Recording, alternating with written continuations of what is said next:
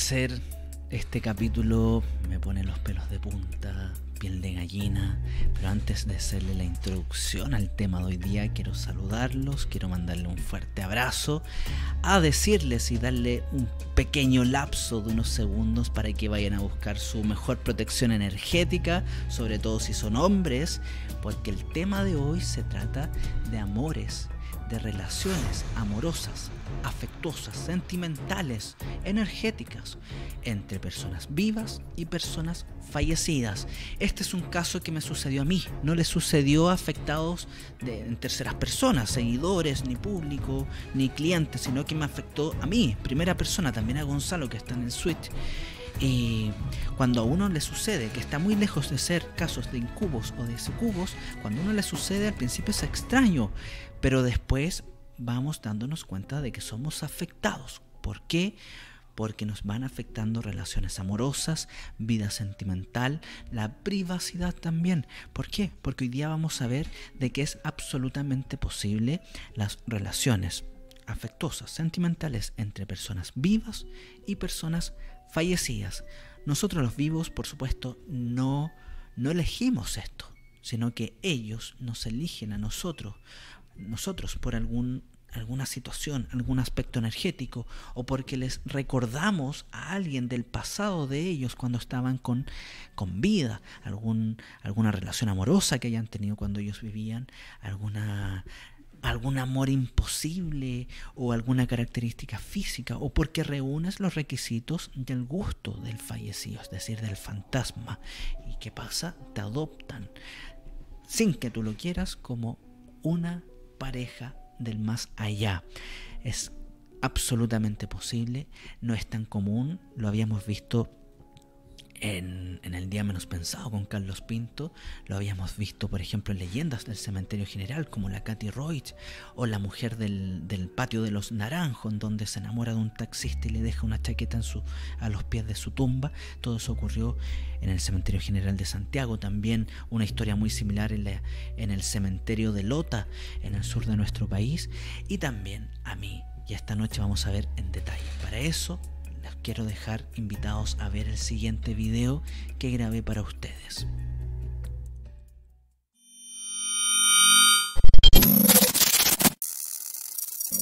Radio Zona X. Nada nos calla. Yo llegué a esta casa, debe haber sido mediados del año 2000, Al principio todo bien, ninguna complicación. En ese entonces me gustaba lo paranormal, bastante diría yo, pero jamás imaginé que me iba a dedicar a esto, porque en cierto modo me daba un tanto de temor a mis 10 años. Al principio iba normal, como les dije, pero a medida que fue pasando el primer año, en el pasillo de esta casa, y en la ventana que da hacia el comedor, al lado de donde yo hago mis transmisiones, aparecía una niña de unos 10 años, 8 años, no más que eso. La veía yo, la veía mi hermana, solamente nosotros, no la veía nadie más. Se mostraba como una niña de acuerdo a mi edad. Pasaba por el pasillo, como una sombra negra, gris, eh, grisácea. En ocasiones se mostraba en las ventanas como una niña. Tiernamente la apodamos como la niña. Siempre que nos referíamos a ella le decíamos la niña. La niña desapareció, la niña se anda paseando, la niña está, está jugando. Siempre como una sombra, casi con el, con el rabillo del ojo. Esa forma de mostrarse y con esa constancia de una o dos veces al año se fue prolongando durante años. A medida que fui creciendo, ya no era un niño, sino que me convertí en un adolescente, se empezó a manifestar más, ya no era dos veces al año o simplemente por el pasillo, sino que se molestaba cuando venían visitas. Yo a mis 15 años ella se mostraba como una presencia de 15 años, iba creciendo y se iba mostrando de acuerdo, de acuerdo a la edad que yo tenía eh, físicamente. Hasta ahí todo bien, se llegaban visitas y le desagradaba esa visita, los molestaba, se enojaba. La niña estaba enojada, decíamos nosotros, o no le agradaste a la niña. Llegaban visitas, familiares, amigos, y lo primero que hacíamos era contarle la historia de esta niña que se aparecía en la casa. Algunos creían, otros no, pero generalmente a gran parte de ellos los molestaba. Para otros no les hacía absolutamente nada, pasaban desapercibidos. El punto es, empecé a crecer y empecé a traer mis primeras pololas a la casa. A una de ellas las molestaba. Recuerdo que a mis 20 años venía una, una polola en ese entonces, una mujer sana, una joven sana, sin ningún problema físico, sin ninguna enfermedad. Cada vez que llegaba acá, se ponía alérgica, le venían alergias, no simples ronchas, sino que alergias potentes. alergias físicas potentes, el desmayo, la sensación de ahogo, se desmayaba, se descompensaba. En tres o cuatro oportunidades tuvimos que llevarla de urgencia porque esta joven estaba descompensada. Se desmayaba, venían taquicardias con reacciones alérgicas potentes. Llegábamos a la urgencia, no había no tenía nada, es decir, llegábamos, se bajaba del auto, nada, completamente sana, sin ningún peligro. Le venía los sangre, el sangrado de nariz también, muchas veces. Posterior a ella, pasaron un par de años, nuevamente una polola nueva, se le sentaba a los pies de la cama, la hacía sangrar de nariz, se le aparecía por las ventanas, se le aparecía por los espejos. Nuevamente la molestaba. Vino esa evidente ruptura amorosa, pasó el tiempo, la niña ya no se mostraba como niña ni como joven, sino que se mostraba como una mujer de 24 o 25 años. Ya no era la niña, era la misma presencia, pero había ido evolucionando. Ahí yo me percaté de que ella no me aprobaba mis relaciones amorosas. No sé si no le gustaba la idea de que yo estuviera en pareja o no le gustaba la mujer que era mi pareja, porque siempre las molestaba, ya sean pololas oficiales, personas con las cuales estaba andando a todas por igual las molestaba, con, con distintas formas de molestar, pero nadie se escapó de ella.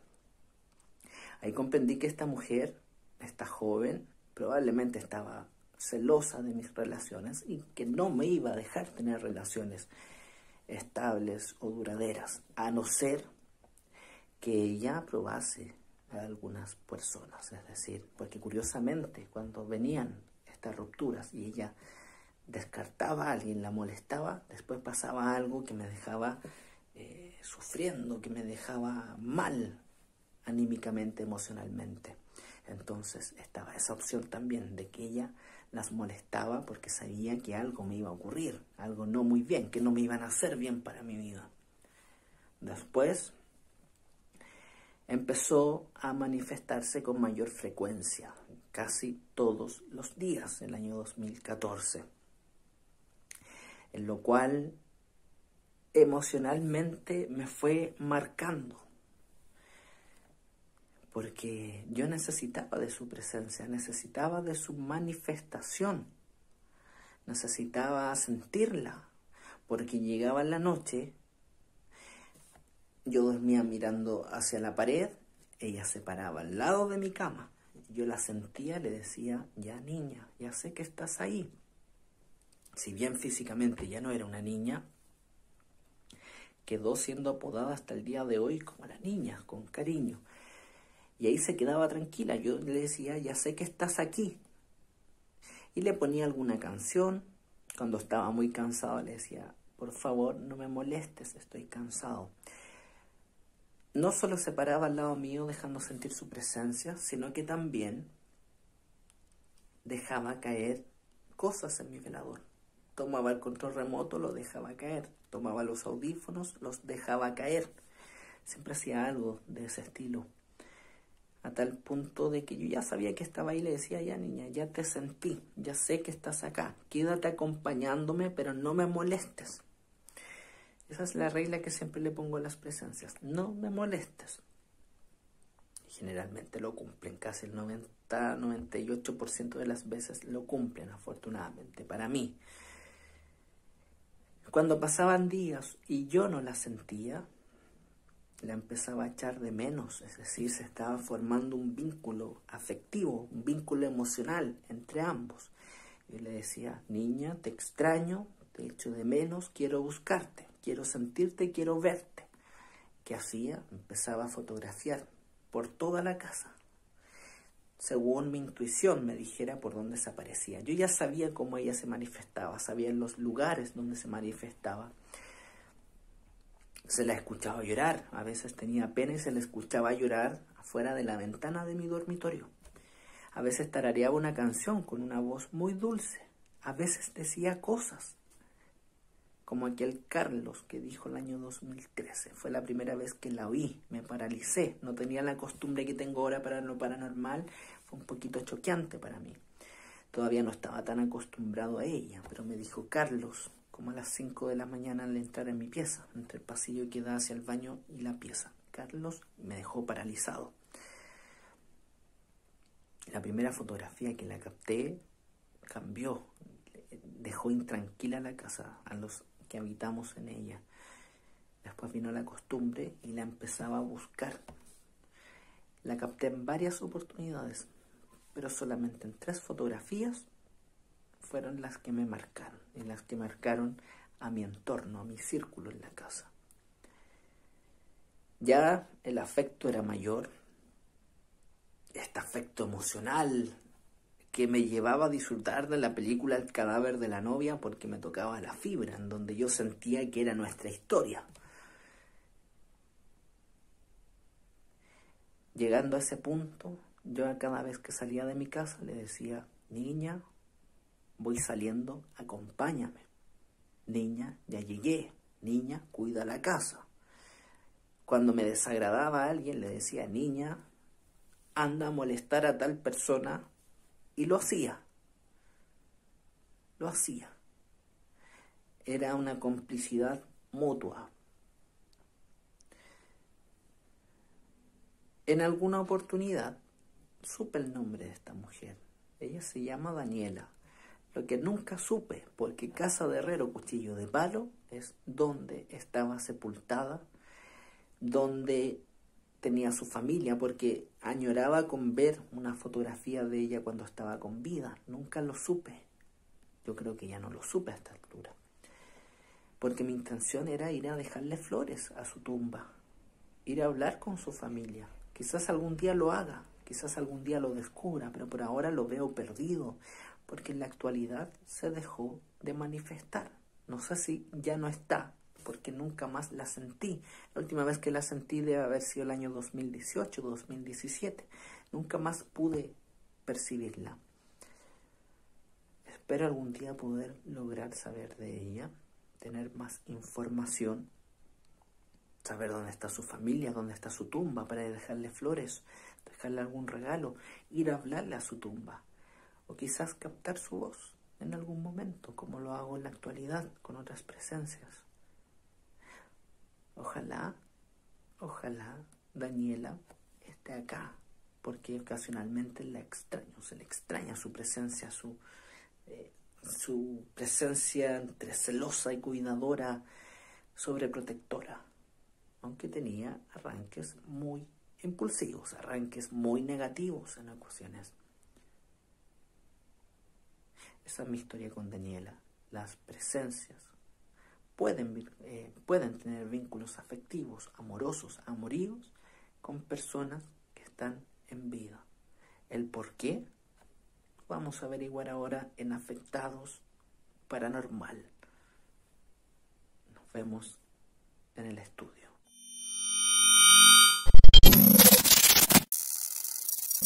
Radio Zona X. Nada nos calla. Volver a escuchar esto me, remueve todo. El, pelímetro, como decimos los investigadores paranormales, eh, es potente porque es un caso que lo pude vivir en primera persona. No fue una situación de una noche, no fue una situación de un día, sino que se prolonga desde el año 2000 hasta el 2018, que fue como la última vez que la pude sentir.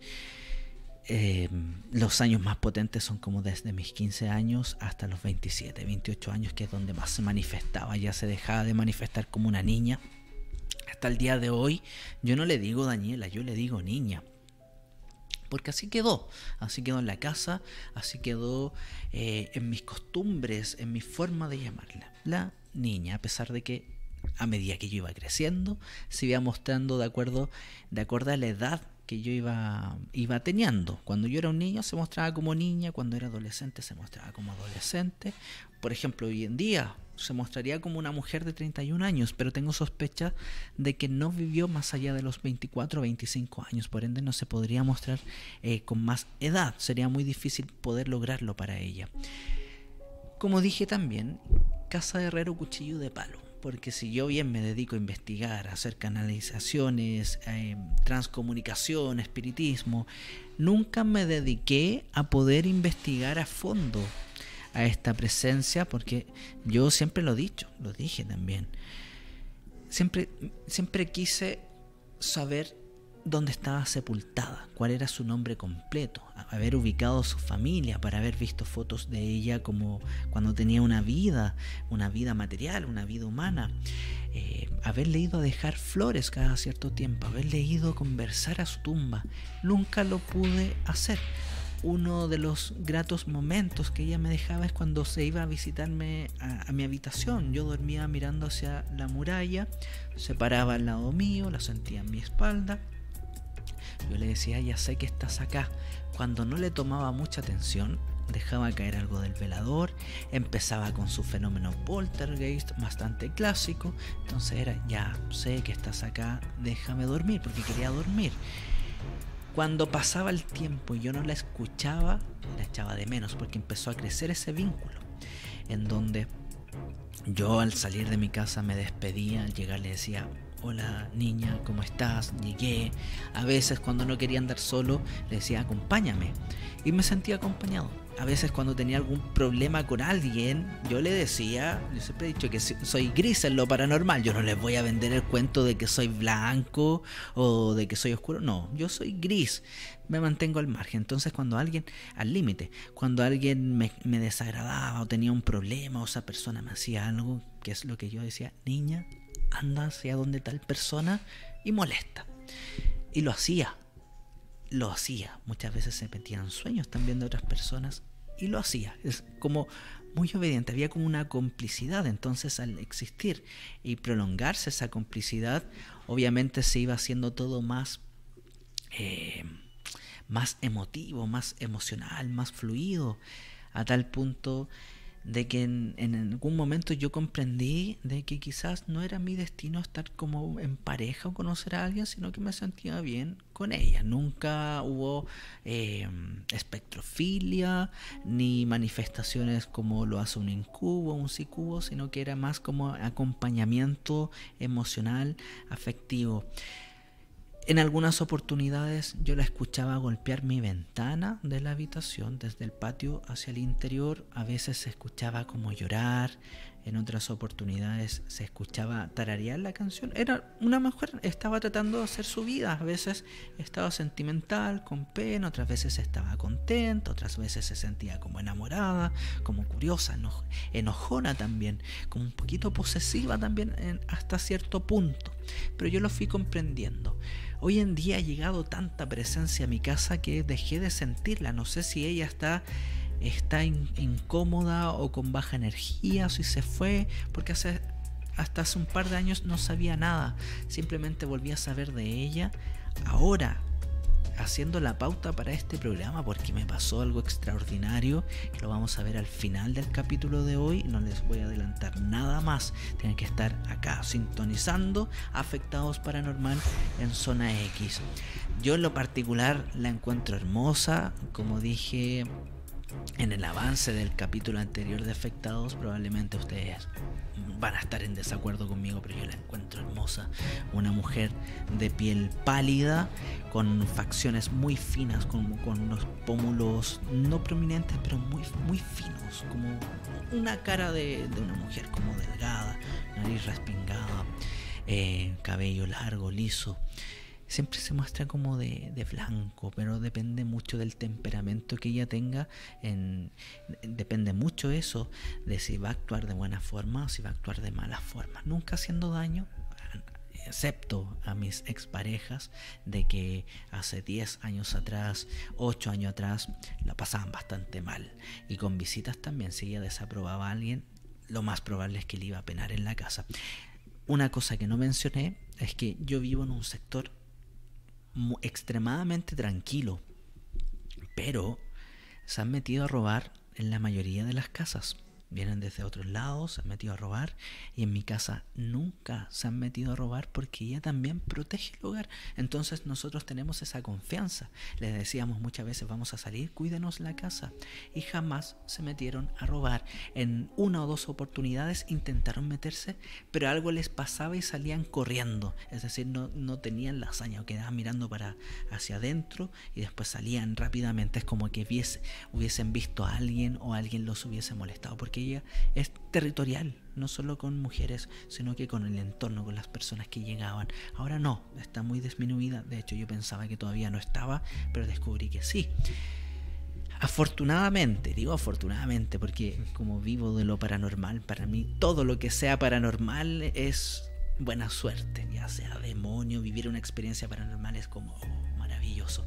Afortunadamente, Gonzalo, que está acá en el Switch, también vivió una historia muy en particular y nos va a contar qué es lo que le sucedió con otra mujer fantasmal, no con Daniela, sino que con su fantasma propio. Bueno, primero que todo, Carlos, darte las gracias. Em, tras finalizar el programa anterior, cuando tú diste em, el anuncio del capítulo que estamos realizando este día sábado, yo quedé estupefacto y me sentí plenamente identificado con lo que tú comentaste porque mi experiencia es muy distinta a la tuya y lo conversamos. Y yo te dije que yo había comentado esto cuando era adolescente, cuando tuve una depresión, se lo comenté a una psiquiatra que me atendía, un psiquiatra, era varón, y no me creyó, me trató de loco, que yo era exagerado, que, que cómo podía, eh, se me pudiese ocurrir una cosa así, y no hablé nunca más del tema lo cerré y cuando tú hiciste ese anuncio dije, wow, te lo voy a comentar. Te conté la historia completa que voy a contar a continuación, que va a ser primera y única vez que lo voy a hablar. Siento que yo soy una persona que me gusta contar ciertas cosas porque no tengo nada que perder. Pero esto para mí es algo muy complejo, muy fuerte, y te agradezco que hayas creído en mí. Y, y por eso lo hago.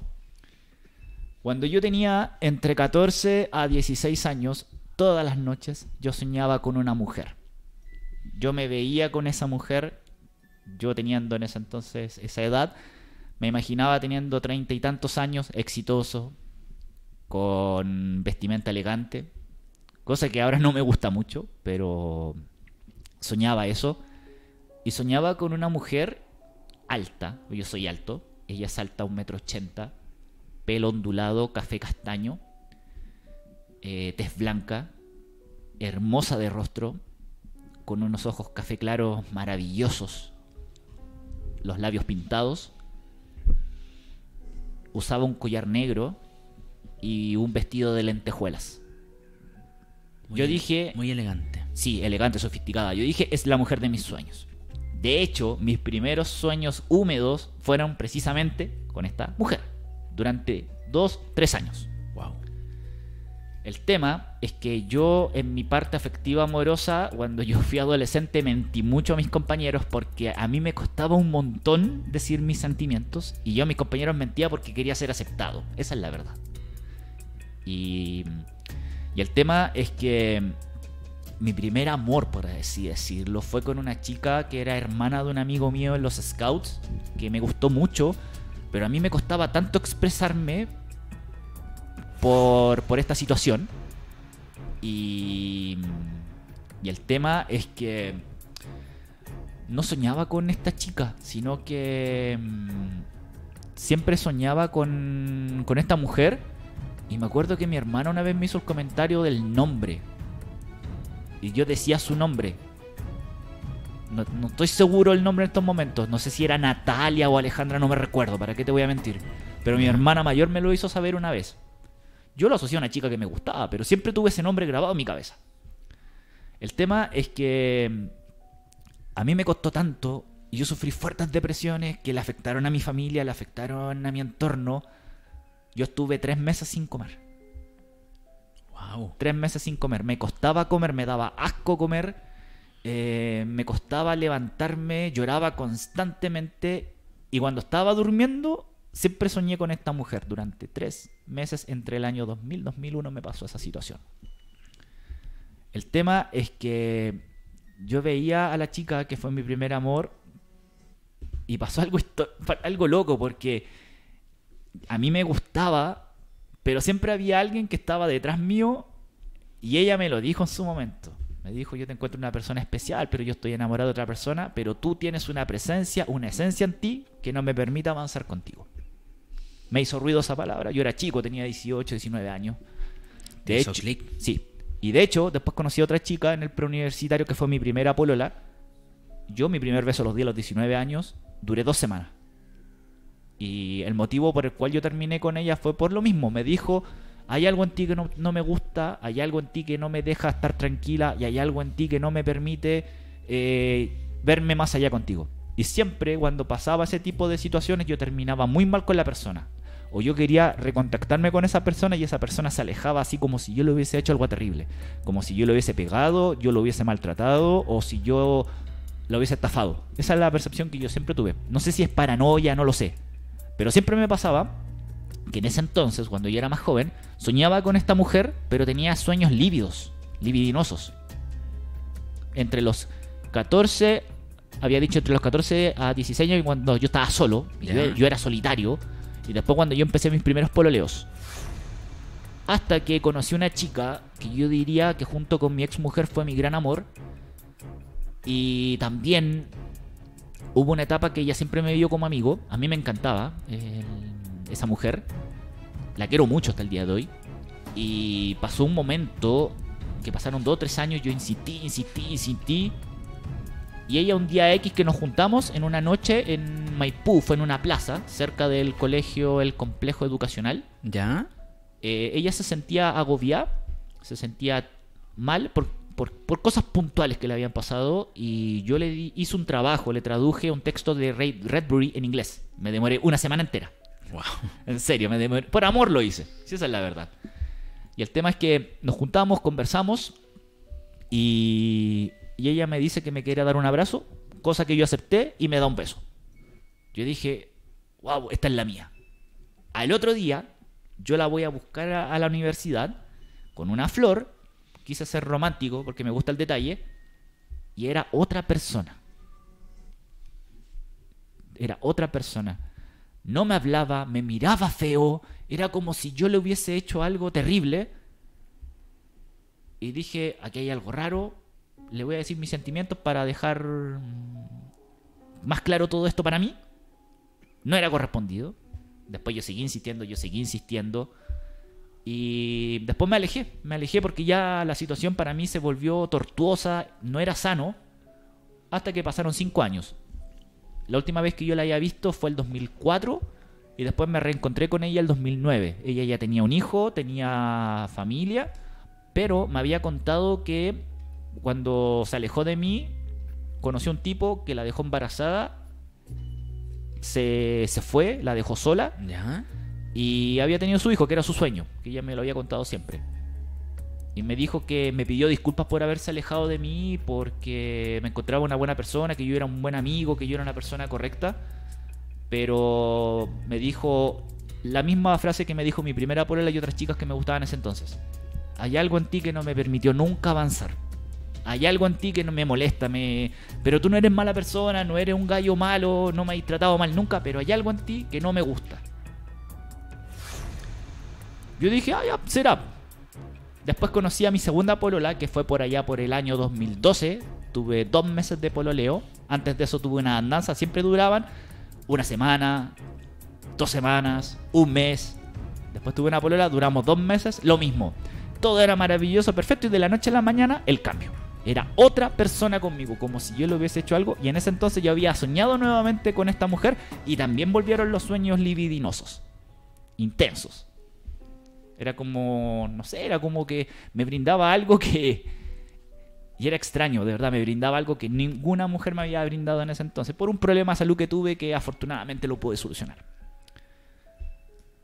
Duré dos meses, se aburrió de mí y me dijo la misma frase. Es que hay algo en ti, Gonzalo, que no me permite avanzar contigo. Después conocí a otra chica que anduvimos, me pasó exactamente lo mismo. Hay algo en ti que no me permite avanzar contigo. Y también había soñado con esta mujer cuando tuve esa andanza. Pasó el tiempo, esta mujer desaparece de mis sueños. Ahí me sucedieron cosas de carácter personal. Eh, y conocí una chica que a mí me encantaba. Nos conocimos por un amigo. Anduvimos. Y también, de la noche a la mañana, ella cambió radicalmente conmigo y me dice, es que yo no puedo estar contigo porque hay algo en ti que no me gusta, hay algo en ti que no me deja estar tranquila, hay algo en ti que no me permite avanzar. Y volvió a aparecer esta mujer, este sueño, y también eran sueños libidinosos. Hasta que conocí a mi ex mujer, que fue la relación más larga que yo tuve, dos años y tanto de, de noviazgo, matrimonio incluido.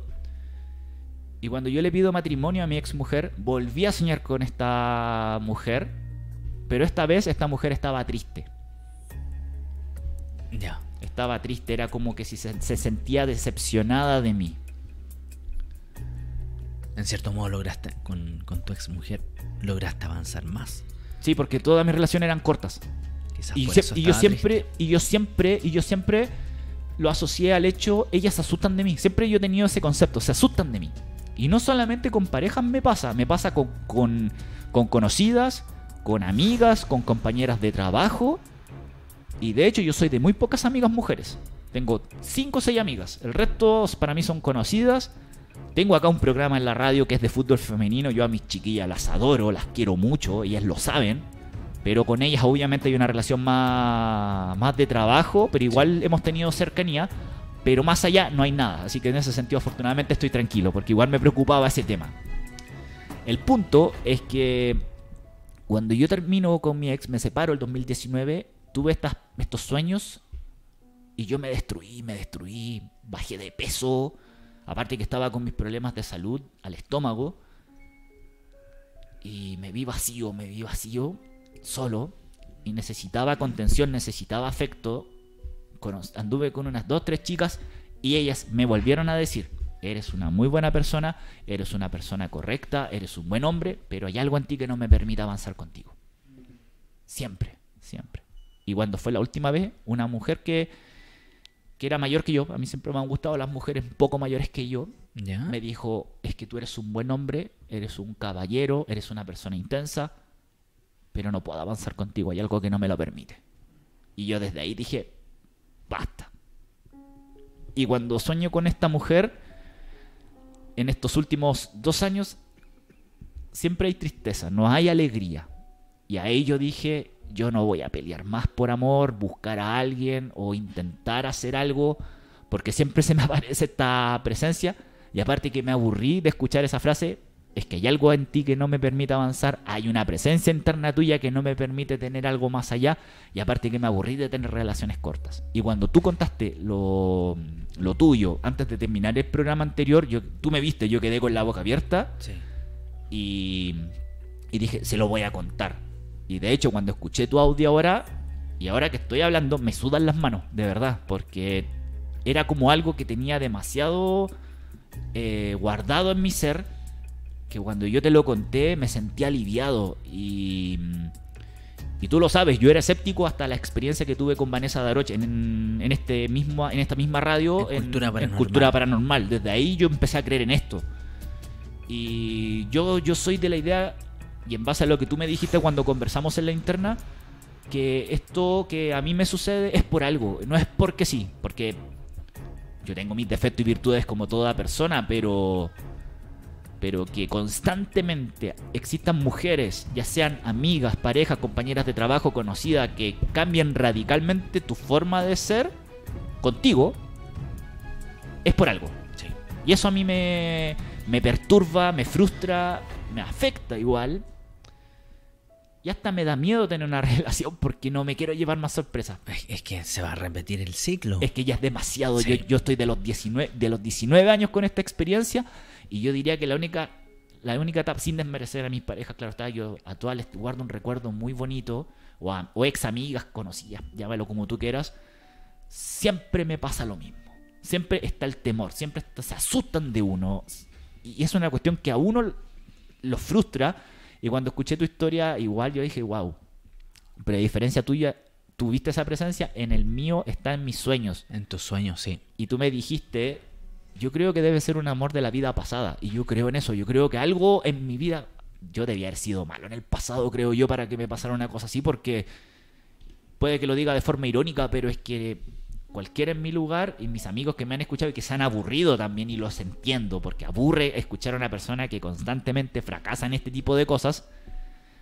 Hay algo, hay algo, hay algo que no me permite avanzar, que no me permite crecer, pero cuando yo dejo, he dejado, porque lo vuelvo a reiterar, yo me considero una persona muy sensible, una persona muy de piel, de brindar mucho afecto, pero cuando yo no entrego mis afectos, no entrego mis emociones, eh, esta persona se aleja. Yo de verdad quiero saber quién es, cómo se llama, en qué contexto, en qué historia, porque ya de verdad no doy más con el tema. Sí. Bueno, dentro de lo que mencionas, el primer análisis que hago de que esta es una presencia negativa. Quizás no es maligna, pero es negativa en el sentido de que no te deja fluir en el amor, no te deja solo, es como aprensiva, como celosa, eh, te va cargando emocionalmente, energéticamente. Segundo, en cierto modo, aunque suene frívolo, ha sido tu relación amorosa, aunque tú no lo quieras así como más, eh, más, duradera, porque ella no te quiere dejar. Y tienes razón, si sigues en otra relación probablemente te vas a seguir molestando porque no has hecho nada tampoco por sacarla de tu vida, eh, hacerla ascender o hacerla entender también. El otro punto es que tú mencionas, claro, el tema de las vidas pasadas. ¿Por qué sucede esto? Y ojo acá, porque hay muchas parejas de enamorados o que se están viviendo una ilusión que se prometen amor eterno. Ese es un pacto muy sencillo, pero que puede tener consecuencias en lo paranormal. Quizás no en esta vida, quizás en una vida siguiente. ¿Por qué? Porque algunos cumplen ese pacto. De hecho, cuando fallece alguien, eh, siempre vuelven como para mostrar cómo es el más allá, o para cumplir parte de su pacto, o para exigir que esa persona que quedó con vida cumpla su pacto también. Entonces, ojo con eso de eh, prometerse amor in- incluso en las vidas que vienen. Porque ¿qué pasa si tú reencarnas, falleces, reencarnas, pero tu pareja no reencarna y quiere cumplir ese pacto? No te va a dejar concretar nuevas relaciones amorosas con éxito porque ella está siendo parte de su pacto. El pacto que tú no cumpliste, aunque estés en otra vida actual, es igual, un pacto espiritualmente. Eh, hiciste un pacto con otra persona. Entonces, ojo ahí. O bien, lo más común del por qué se dan estas situaciones es como mencionaba al principio. Porque uno, ya sea, se dan hombres y mujeres. Supongamos, pongamos el caso de una mujer. Una mujer eh, de vida física común y corriente, como tú que estás viendo en la casa, puedes ser víctima de alguna presencia paranormal, de algún fantasma de un hombre que tuvo una vida en el pasado. Y imaginen, ese hombre se enamoró de una persona muy parecida a ti físicamente, o se enamoró de una persona con tus mismos gustos, o, tu energía le, recuerdas, o personas, por ejemplo, que mueren, tantas leyendas de novias que mueren porque los dejan sus, sus futuros esposos, la dejan en el altar, la dejan antes de casarse, entonces quedan con esa sensación de no haberse podido concretar el matrimonio y siguen buscando una posible pareja. Son situaciones que se dan en lo paranormal esta situación, esta fenomenología no es tan, tan común en lo paranormal, que, tan, que se dé tanto en lo cotidiano, pero sucede. Y cuando sucede, se da con las mismas características que hemos mencionado en este capítulo. Como yo les decía de Daniela, yo la cuando la echaba de menos, porque empezó a crecer este vínculo afectivo cuando la echaba de menos, hace unos 6, 7 años atrás, cuando no tenía tanta costumbre en lo paranormal, cuando no me dedicaba al negocio de los bienes raíces, sino a la parapsicología, no estaba tan acostumbrado a vivir en situ los fenómenos, empezaba a captarla en una oportunidad, fotografiando a mi hija. No, vamos a ver una imagen a continuación en unos momentos. Eh, obviamente no voy a mostrar a mi hija. Mi hija va chiquitita de unos 2 o 3 años hacia mi habitación, recuerdo que va con una paila de huevo porque estaba comiendo huevo revuelto y me dice, papá, sácame una foto, siendo que mi hija nunca había pedido a esa edad una fotografía. Ya, curiosamente, lo tomé como una curiosidad, saqué la fotografía y atrás de la de mi hija aparece por primera vez esta presencia. Ya no era solo un rumor, ya no eran ideas de nosotros que las veíamos, sino que se materializaba en una fotografía. Y a partir de ese momento todo cambió, porque quedamos intranquilos, no nos sentíamos eh, seguros, nos sentíamos eh, incómodos. Es justamente ahí donde está. Si se fijan dentro del círculo, para explicar el contexto de esa imagen, esa foto obviamente está recortada porque la, imagen completa aparece mi hija con su paila de huevo. Ese es el marco de la puerta de la salida de mi habitación que da hacia el pasillo. Justamente en el pasillo siempre se veía esa presencia. Si se fijan, al medio, justo donde está el marco de la puerta, donde está esa franja clara y al, lado izquierdo está la franja oscura, se ve eh, un, un rostro eh, un rostro eh, translúcido y se ven dos ojos como, como ovalados. Algunos lo asimilarán a como ojos eh, de humanoides, como de seres extraterrestres.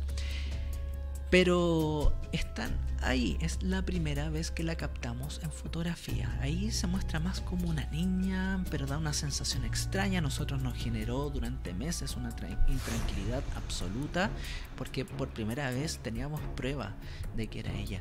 No es una paraidolia porque efectivamente están estos dos ojos ovalados. No es algo que se refleje como en los nudos de una madera, por ejemplo. Em, es una superficie plana, lisa. Fue la primera vez que la captamos. Ahí, después de eso, vino la calma y empezamos entre ella y yo como a, complementarnos más, como a saludarnos, a decirle hola, ella se paraba los pies de mi cama, al lado de mi cama. ¿Cómo te sentiste? En ese momento yo no trabajaba en esto, entonces era como chuta. Eh, realmente los fenómenos paranormales, la manifestación paranormal eh, se debía a eso y lo estábamos viendo nos dejó súper súper intranquilos. Pero no me refiero a la parte paranormal, me refiero a la parte afectiva.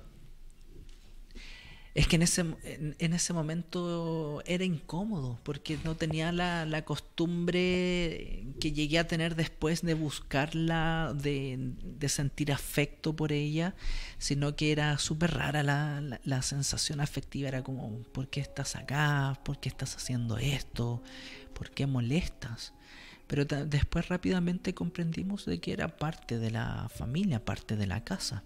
Porque en tu caso, a diferencia de, mi situación, por lo que puedo desprender, igual hay una especie de, afecto, de, de, cobijo y de seguridad. Aunque igual por lo que tú comentabas en el video, igual había celos por parte de ella, pero Sí. no era una celopatía como en mi caso, que por ejemplo a mí me, me pasa esa situación que, que no puedo avanzar más allá. Por eso digo, o sea, yo lo digo fríamente, Sí. yo la única relación, yo tuve una, dos relaciones largas, una que duró un año, dos meses, que terminé precisamente el día que murió mi mamá, ¿Ya? y la otra que fue con mi ex que duré más de dos años y. Y siempre, siempre, yo siempre he dicho, siempre en mis relaciones eh, pasa algo, pasa algo un día X y es como si. Yo siempre lo asociaba a los cambios de la mujer por sus ciclos menstruales. Yo siempre lo asocié a eso, eh, pasaba algo. Pero siempre era como un cambio brusco, como si yo les hubiese hecho algo. Y de verdad, hasta el día de hoy, como te decía anteriormente, me lo cuestiono. Y esa es una de las cosas que, que yo por eso trato de no hablar mucho de esto, porque hay gente que no te comprende, no te Sí. comprende al respecto, y ahí te vas haciendo como un caldo de cabeza y tú te dices, pero ¿por qué no puedo tener una relación larga? Yo tengo a muchos amigos y amigas, relaciones de 5, 6, 7 años, yo con suerte he llegado a los dos. Y no es normal, no es normal. Sí, bueno, es que ahí está la diferencia, porque tú a ella la veías en sueños. Claro. Y las mujeres, tus parejas, te decían, hay algo en ti que no me deja avanzar. Eh, en cierto modo, eh, ha sido más insistente, como más eh, celosa, más posesiva de ti, pero no ha hecho tanto daño. Eh, en cierto modo te ha hecho el daño a ti, porque no te deja fluir. Pero a tus parejas no le hacía el daño. En cambio, la niña, como nosotros le llamábamos, se agredía. Se le sentaba a los pies de la cama. Recuerdo que en alguna oportunidad alguien le tiró el pelo o botaba cosas de la repisa, el fenómeno poltergeist o la sensación de, de- de una de estas parejas que se desmayaba y que teníamos que llevarla al médico cuando llegábamos, estaba, se le quitaba todo. Eh, entonces había un grado de, de daño. No sé si podemos volver a ver la misma imagen, Gonzalo. Sí, ningún problema. Espérame un segundito porque aquí tenemos que configurar para mostrar el material. Espérame un momento. Ahora sí. Ya, bueno, ahí está. Eso, esos ojos es como representando el- la típica presencia que le, se le ve en la cuenca de los ojos oscura. Aquí es como más luminosa. Claro. Acá no se puede, me parece que no se puede hacer el zoom, pero la, eh, la fotografía que yo tengo, cuando uno le hace el zoom, incluso se percibe un poquito la, la nariz, como los orificios de la nariz. Pero es así, translúcida, los ojos están justo arribita. Y tiene, bueno, acá me dicen que tiene como un- una especie de máscara, como de, de jaguar. ¿No te ha pasado, por ejemplo, que puede ser algún alguna mujer de una vida pasada mm, que tenga relación con algún no sé, por así decirlo, con alguna entidad más bien mística, mágica? Mira, en alguna oportunidad alguien me dijo de que pudiese ser un amor de vida pasada que no me iba a dejar tranquilo hasta que me viera eh, con una vida realizada. En cierto modo, como que aprobaba y desaprobaba a- aventuras, pololeos, relaciones más establecidas. Ella veía, la quiero para él o no la quiero para él. Y en cierto modo así se fue comportando, pero eso lo fui comprendiendo al pasar del tiempo. Ya cuando tomé costumbre y la echaba de menos, empezaba a fotografiar porque la primera foto que vimos fue casualidad. Yo creo que ahí fue intuición de mi hija que algo le dijo, papá, saca la foto. Pero ya después, la foto que vamos a ver ahora, que es la foto 2, yo ya la buscaba. No, esa es la foto 3, Gonza. Esa es la 3. Sí, la vamos a dejar para el final. Perfecto, espérame un momento, vamos a mostrar enseguida. Ahora sí. Ahí está, mira. No se logra apreciar del todo bien, pero ahí donde está justo el círculo ahora, da la casualidad de que hay dos presencias. Sí. El círculo que vimos recién, que está justo en el ángulo inferior de la ventana, también de la ventana hacia mi pieza, es, ese círculo no, el, el anterior es una aparición de un niño que me siguió del cementerio general, haciendo Sí, mis- eso mismo te iba a decir, se vio un niño. Haciendo mis trabajos eh, nocturnos en el cementerio general. Me siguió, me siguió y estuvo ahí una semana, más de eso no estuvo, me acompañó. Y justo en el otro círculo que va a aparecer a continuación está la silueta de niña, que sabemos que se llama Daniela, que está de perfil. Y ahí si se fijan, se la logra apercibir más el pómulo, su nariz respingada, sus ojitos más oscuros, el cabello liso. Créanme que el, el ver estas fotografías acá desde el teléfono es es impresionante. No sé si ustedes van a lograr captarlo en pantalla, la nitidez de estas imágenes, pero el verlas acá en, en persona, en primera persona a través del teléfono, es impresionante este tipo de manifestación. Yo que estoy de acá desde el monitor la veo claramente. Clara, clara, Sí. clara y precisa. Ahí está el niñito dentro Sí. del círculo. Es como que se ayudaron mutuamente para cap- ser captados ambos en la fotografía. Y es justamente en la ventana que da, que está en mi pieza, que da hacia el patio, porque desde el patio es cuando me golpeaba la ventana, cuando se ponía a llorar o cuando estaba de más ánimo, de más buen humor, se ponía a cantar una canción, a tararear una canción. Un tarareo muy dulce, una voz muy, muy agradable. De hecho, yo después le ponía música. Yo sentía que esa música le gustaba y le ponía música como para ponerla contenta. Oye, ¿y ahí qué sentiste? Ahí tú ya estabas insertado en lo paranormal porque dijiste que habías eh, hecho un trabajo en el cementerio, pero igual fue tu percepción cuando la viste y viste a este muchacho. No, ahí fue ya un- una alegría, porque fue mira, porque yo la eso pasaba cuando yo la echaba de menos, porque a veces se perdía durante semanas y decía, "Ya niña, te echo de menos, te voy a buscar en fotos, aparécete." Y se apareció en varias fotos, pero esas tres fotos son mis favoritas, por eso las voy a mostrar. O sea, podríamos decir que tú en cierto modo igual sentías algo correspondido hacia ella. Ah, Después de los años, sí. Ya- Guau. Ya, sentía una correspondencia de afecto, de compañía. Yo quería saber de ella para buscar a su familia, ver fotos de ella como cuando estaba con vida, ir a, a su tumba a dejarle flores, a dejarle chocolates. Yo igual quiero saber eso y Sí. por eso te quiero pedir ayuda. Más adelante cuando pase esta pandemia, obviamente quiero ver si en mi dormitorio, que es uno de los lugares donde yo más resido, ¿Ya? está esa presencia, porque igual quiero saber, quiero enfrentarla sanamente, quiero conversar con ella, pero no desde el punto de vista libidinoso, erótico, ni depresivo, que ha sido la última fase, afectivamente hablando me refiero, sino que quiero saber quién es, si era una mujer de una vida pasada y por qué está en mis sueños. Es que es el paso para poder soltar y seguir avanzando. Por eso te digo- Yo creo que es absolutamente necesario, Gonzalo, de que lo hagas, porque a ti te afecta más. Es que me ha afectado Sí. bastante. Y de hecho, eh, de hecho, como te digo, yo soy muy de piel, muy sensible en este tipo de cosas. Y mm, a veces me siento tan solo. Y lo que yo te decía la otra vez, yo tiendo a hablar solo. En mi pieza sobre todo, hablo mucho solo. Y yo la siento. Y siento un cobijo. Y a veces me pongo a llorar solo. Porque siento esta presencia que me está cobijando. Pero no es de celo, sino que es de un afecto que, que, que necesito. Y también boto esa rabia con cosas que me molestan. Claro. Y como te digo, yo lo comenté con, una con un psiquiatra que me atendió, me, me tildó de loco, estáis alucinando, ¿qué consumiste? Me dijo, me acuerdo, ¿qué, qué te fumaste? No, pues, yo creo que ahora contando tu historia, yo creo eso, yo creo, yo siento eso. Y quiero saber quién es. Sí. Para, eh, para, para vivir esa experiencia que tú viviste, para Es- yo poder enfrentar a esta mujer y que de una buena vez yo poder tener una vida afectiva más tranquila. cortar ese lazo. Sí.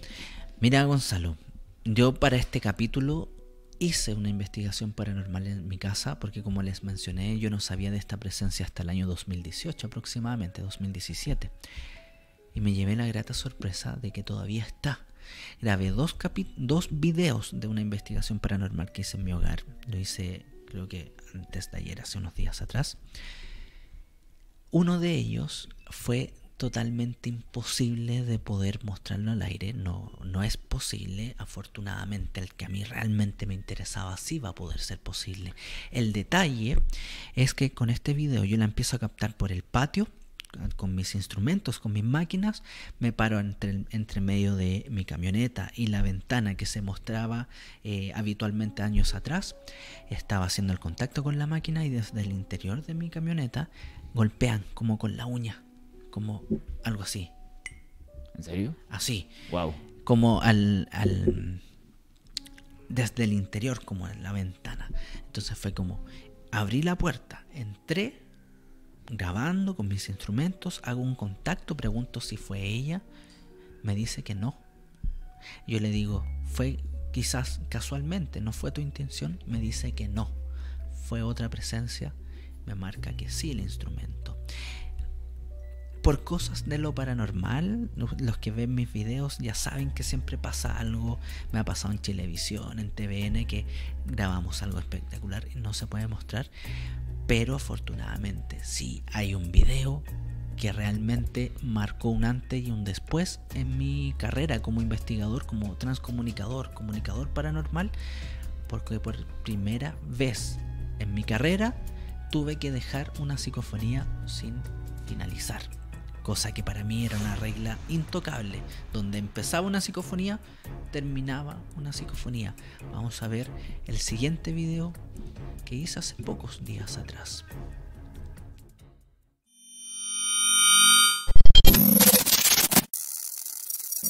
Radio Zona X. Nada nos calla.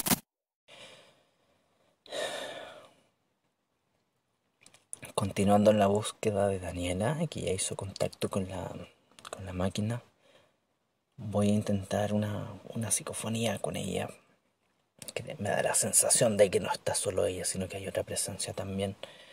Eh, porque se sintió el ruido acá atrás, dijo que no había sido ella. Le pregunté si había sido sin querer, tampoco dijo que no era ella. Entonces, lo que me dio a entender es que, es que hay otra presencia, quizás en el interior de, del vehículo conmigo. Vamos a ver.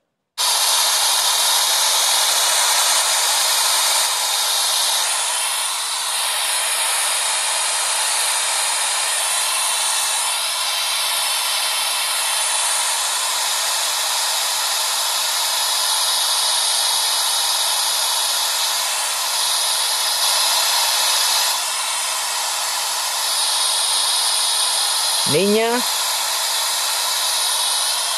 ¿cómo estás?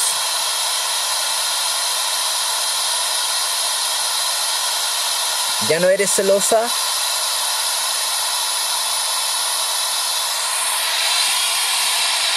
¿Aceptaste tu realidad? Te daría un abrazo. Quiero agradecerte por todos estos años que te has hecho presente, que nos has acompañado en esta casa. Me gustaría saber más de ti. ¿Dónde estás sepultada?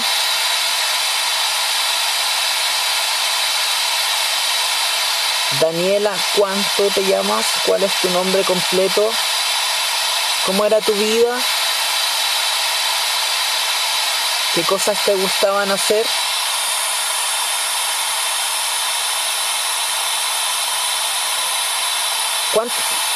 ¿Cuántas, otras presencias hay acá? Háblame de ellas o que se manifiesten, porque me siento incómodo. No me siento cómodo, me siento muy inquieto, muy incómodo. Sé que hay algo detrás de mí, no es la energía de Daniela, de niña. Puedes aparecer en el retrovisor que estoy mirando. Siento incómodo. ¿Cuál es tu nombre? ¿Qué quieres?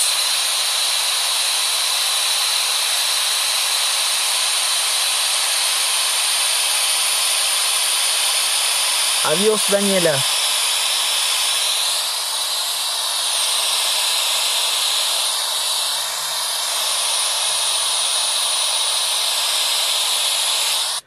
Me siento súper incómodo, mucho más incómodo que mis otros en vivos de mis transmisiones que hago generalmente. Me da la sensación de que es algo nuevo que haya llegado porque no es una energía familiar o en la cual esté acostumbrado, al menos aquí. Me siento incómodo de acá atrás. Siento que algo hay en, en, la fila de atrás. Vamos a ver si esa incomodidad La sintió Daniela también, si es que la transmite o algo.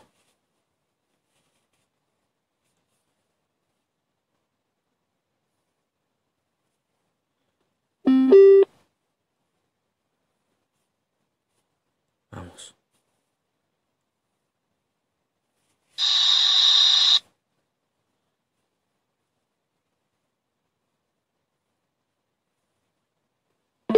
Listo. Niña, ¿cómo estás? Vamos de un principio.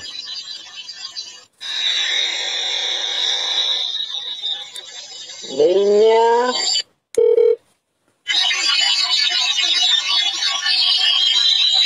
¿cómo estás? Yo digo niña y se empiezan a quejar como lo que ocurre comúnmente en los en vivos.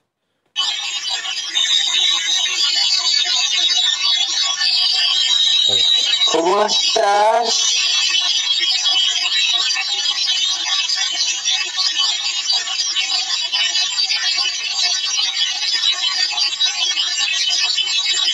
¿Ya no eres celosa?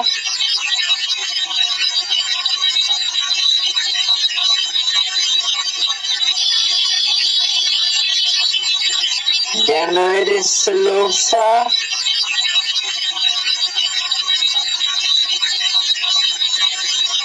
No, creo que dice. ¿Ya no eres celosa?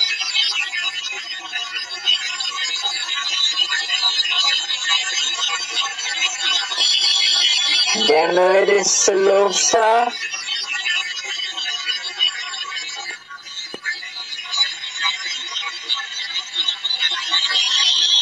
Dice. ¿Ya no eres celosa?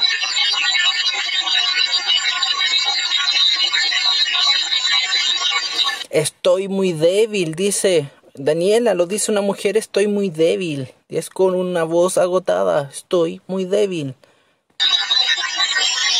Por eso que ya no la siento. Mira, ¿Aceptaste mira, mira esos gritos. Escuchen. Tu realidad?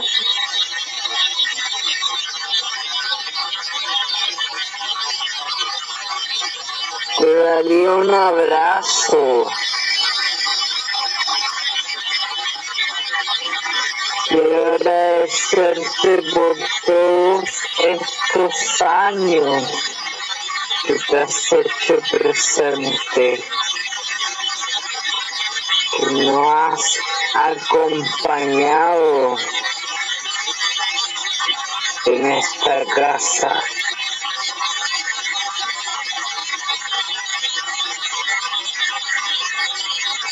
Me gustaría saber más de ti.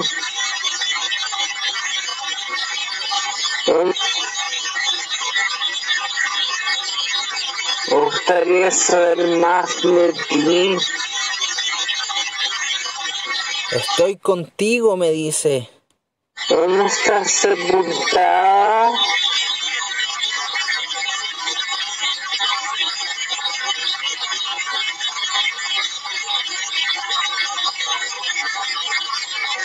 Daniela, ¿cuánto te llamas? ¿Cuál es tu nombre completo? ¿Cómo era? Daniela, ¿cuánto te llamas? ¿Cuál es tu nombre completo? ¿Cómo Jocelyn. Jocelyn, pero dice un hombre. tu vida?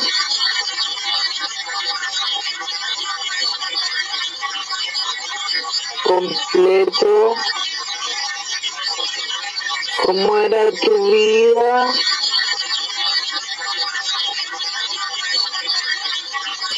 Siempre contigo, me dice Daniela. Siempre contigo.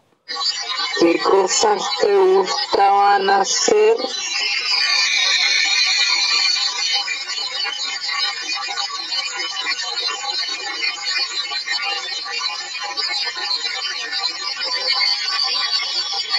¿Cuán- cuántas otras presencias hay acá.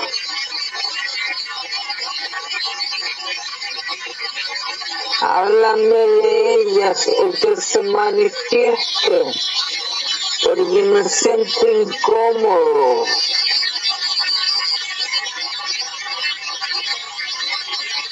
No me siento cómodo, me siento muy inquieto, muy incómodo. Algo detrás de mí, no es la energía de Daniela, de niña.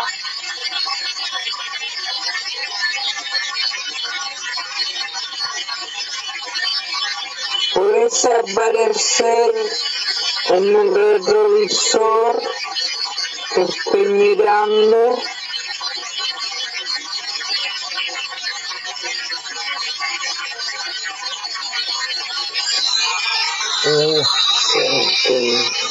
Cómodo.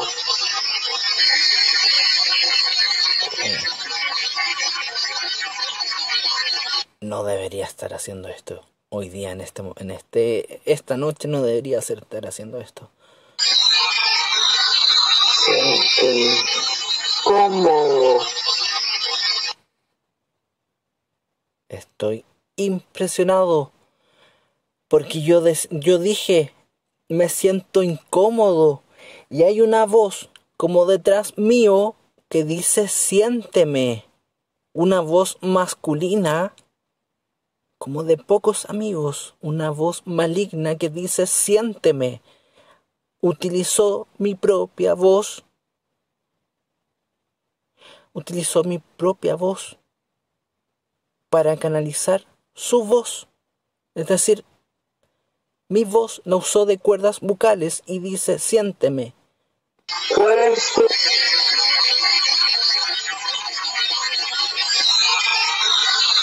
Siente cómodo. Siénteme. Yo digo, me siento incómodo y él me responde, siénteme. Y antes de eso, el, el grito.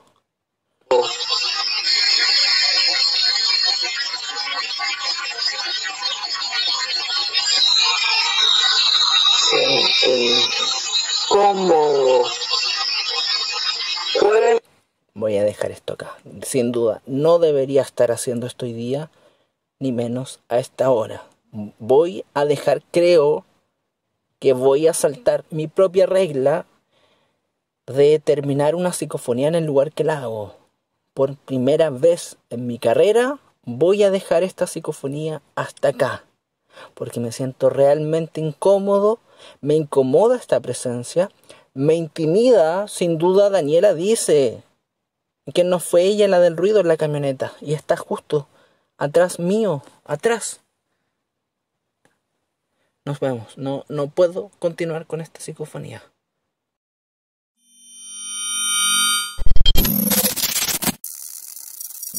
Radio Zona X. Nada nos calla.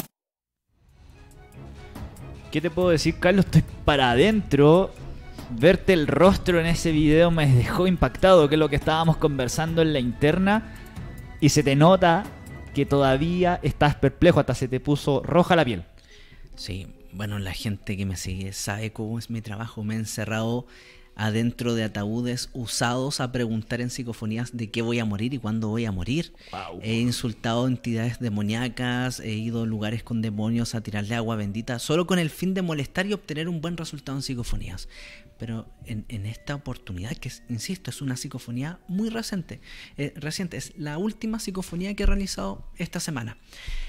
Y y no, me sentía realmente incómodo. No era la misma presencia que se manifiesta en mis videos en vivos o que anda frecuentemente en mi hogar. No era la presencia de ella, a, pesar de que al principio la psicofonía sí capté una voz femenina diciendo estoy contigo, eh, di- respondiendo que no, cuando le pregunto si seguía siendo celosa me responde que no, después siempre contigo y después vienen los gritos, estos gritos ya infernales de, de las psicofonías con ruido blanco Y viene el siénteme, que utiliza mi propia voz como ruido blanco, como fonema, para poder formular su propia voz. Recuerden que ellos no tienen cuerdas vocales.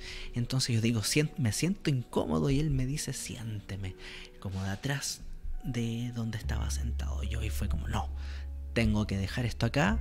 Terminé la psicofonía, porque yo siempre termino una psicofonía en el lugar donde la empiezo. Fue como una excepción a mi regla. Terminé todo y me fui eh, lo más rápido posible hacia el interior de mi casa. Porque realmente me incomodó esa presencia. Y yo creo que se nota. Como dice Gonzalo, se notan mis facciones, en mi reacción también de cómo fue. Así que, wow, mi, mi psicofonía más reciente fue, en lo personal, la sentí terrible. ¿Y qué hiciste después de eso? No, me desligué. Fue como ya, mi trabajo queda aquí, continúo haciendo mi vida normal, porque si le doy importancia, si le doy pie a la sugestión, al miedo, probablemente hubiese pasado una muy mala noche. Entonces, cuando yo termino algo, lo corto para que no siga involucrándose en mi vida diaria. Pero eso no es todo. Antes de finalizar este capítulo queda la última fotografía que capté de niña, que es de Daniela, que también fue de mi habitación hacia afuera. Ahí la, lo primero que debo descartar de que no está la ventana eh, cerrada, sino que está la ventana abierta. De hecho, la, la, cortina está metida como entre medio de las protecciones. Por ende, no es el reflejo de absolutamente nada. Es el rostro de ella que la encuentro bellísima. Pero probablemente, yo sé que a quien le he mostrado esta foto, que son muy pocas personas, no la encuentran para nada bonita. Pero para mí sí, como una belleza espectral. Ahí está como de costumbre. Fíjate que yo también creo lo mismo. Desde el interior, o sea, desde el exterior mirándome hacia el interior. Porque yo antes de sacarle fotos le decía, te voy a buscar, aparece, bajo tu, forma, tu norma. Fíjate que yo veo lo mismo que tú. yo, yo que la estoy viendo en el monitor acá, veo lo mismo que tú. La encuentras bella. La encuentro bonita. Sí. ¿Por qué digo que es bella? Porque, como mencioné, la he captado muchas fotos, pero estas tres son las que más me gustan. Y en una de las fotos se ve dentro de mi ojo, así como tengo el ojo, el oído desarrollado para psicofonías, también tengo como el ojo desarrollado. Y dentro de ese ojo desarrollado la percibo, se veía con su nariz respingada, sus pómulos bien marcados, como unas facciones de una mujer muy delicada, muy fina. Entonces yo la encuentro hermosa, la encuentro bella, claro, no siempre se pueden ver tal como son. Y ese fue el caso de estas presencias. Cuando en mi casa todavía no había más presencias, estaba solamente ella y el Hatman, que es este hombre de negro con sombrero de copa. Pero que él ya no estaba en el interior, sino que se iba hacia afuera, hacia los patios colindantes. A mí lo que me llama la atención es el estilo del peinado de Daniela que tú hablas en estos momentos. Que aquí lo estoy divisando claramente, pero es como. No sé, puede que esté equivocado, pero es una teoría que tengo. Es como bien siglo XIX, época victoriana. Esa es como la percepción que me da. Yo siempre he tenido esa sensación de que no es alguien de que haya fallecido recientemente, sino que es alguien antiguo. ¿Cierto? Porque cuando se mostraba como niña, se mostraba con el clásico vestido blanquito, como con estas calcetas blancas con estampados, con huelitos, como se vestían las niñas antiguamente. Claro. Wow, no, yo te creo porque como te digo, como tuve una experiencia pero de distinta perspectiva, percibo algo similar. ¿Me entiendes? y se da a conocer en la imagen que ella te mira con un afecto en la foto, que es lo que estoy viendo, te mira con unos ojos potentes y con mucho afecto. Así es, como encariñada. Demasiado. Ella es parte de la familia.